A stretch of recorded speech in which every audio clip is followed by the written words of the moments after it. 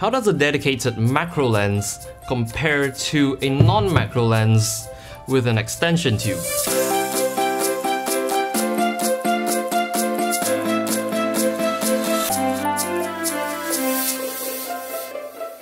Now macro lenses aren't exactly the cheapest of lenses, so if you are considering macro photography, you would have to dish out quite a fair amount of money on a good macro lens. But however, if you are on a budget, you might have heard of these. These are extension tubes. Extension tubes are very, very cheap, and if you've never heard of these, you would really want to check them out because they are really good and really, really cheap and they get the job done. So using an extension tube with a non-macro lens, it increases the distance between the lens and the camera, basically the lens and the sensor. So by increasing the distance between the lens and the sensor, it reduces the minimum focusing distance of that lens, giving you a larger magnification because you can get closer up to your subject.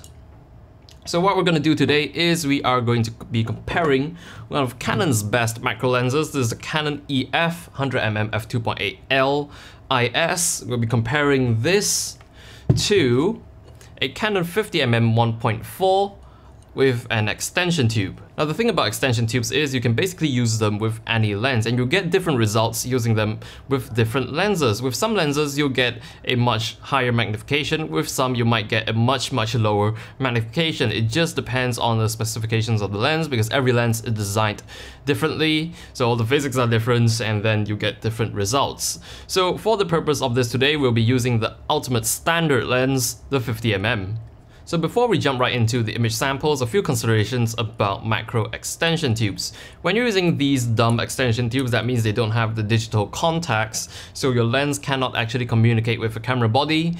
You will lose the autofocus, your lens will not be able to autofocus because it's detached from your body, and your lens will also lose image stabilization if it has any, and most important of all, you will lose the electronic aperture control over your lens. Now if you're using a manual focus lens with the uh, iris control directly on the lens itself. This shouldn't be a concern for you, but however, if you're using digital lenses whereby the only means of controlling your aperture value is through the camera body, then this will be a huge issue for you because when you're doing macro photography, aperture control is absolutely crucial because it controls the depth of field of your image.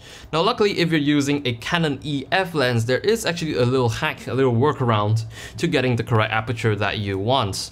So all you have to do is actually, it's very simple. All you have to do is connect the lens to your camera. And then all you have to do is dial in the correct aperture settings on your camera.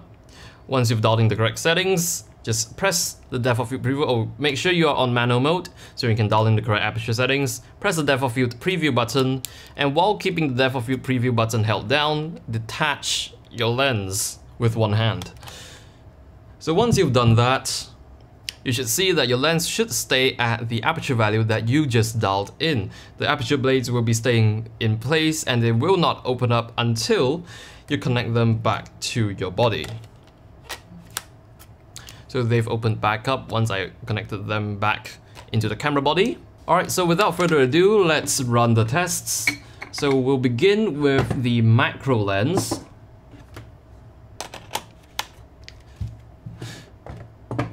So for the scene, we have a bit of gravel with a little green plant in the middle. So that's what we'll be photographing. And then for the lights, I have a flash setup, which is bounced which is bouncing off this back wall here. So we have a nice big diffused light source coming from behind.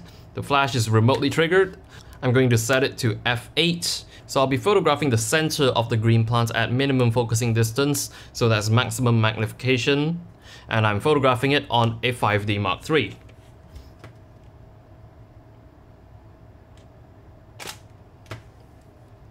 Now as we can see the macro lens performs very very well, it's very sharp in the middle, it's very nice sharpness and very nice contrast, even down to the edges it's still very very sharp. So now let's go over to the 50mm. So first of all we will be photographing the scene at the native minimum focusing distance of the 50mm 1.4 without an extension tube. So let's see what that looks like. It's pretty far. And there we can see it's not too much of any magnification at all. The subject looks tiny. So now let's put on an extension tube. So now let's perform that trick we talked about earlier. I'm going to set it to f8 as well for consistency. And then we will connect it to the extension tube, which goes on the camera body.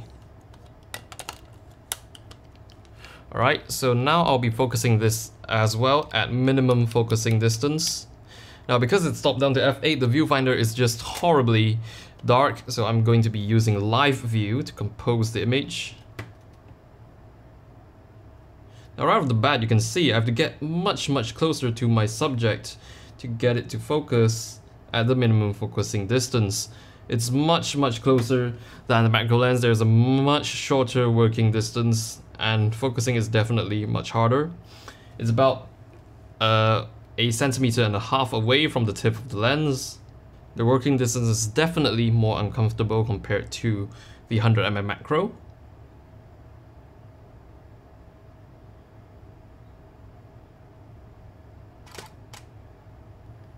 Now if we punch into the center, you can see it's actually very very sharp as well. However, there's a huge flaring issue on this one. The contrast is definitely lacking. However, the sharpness is still very very nice in the center. But however, if you notice in the corners, there is a huge degradation in image quality. It starts to get all smudgy and soft and everything seems stretched out.